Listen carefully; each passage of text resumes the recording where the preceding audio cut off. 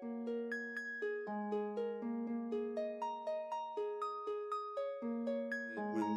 Rachel and I called her to announce that our boy, then 11, uh, was clinically diagnosed, and then we sent off the blood test, and two weeks later got the genetic confirmation.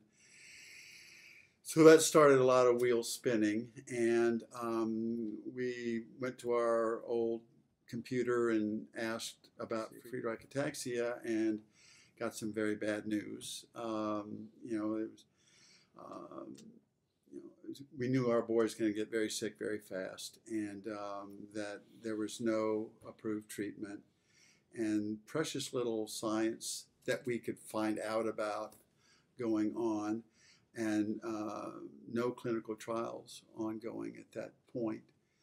Um, the one piece of good news we saw was that you guys had just announced uh, identification of the gene.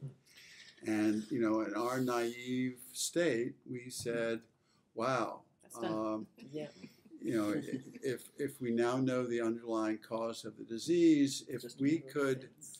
Establish, we also saw online that there was no, no foundation that we knew of that was completely devoted to supporting FA research.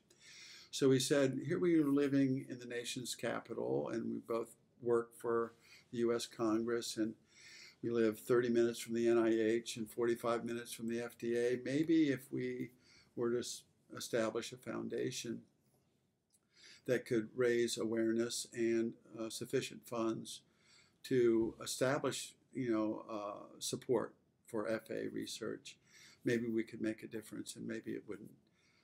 Hmm. Maybe it wouldn't take forever. Mm -hmm.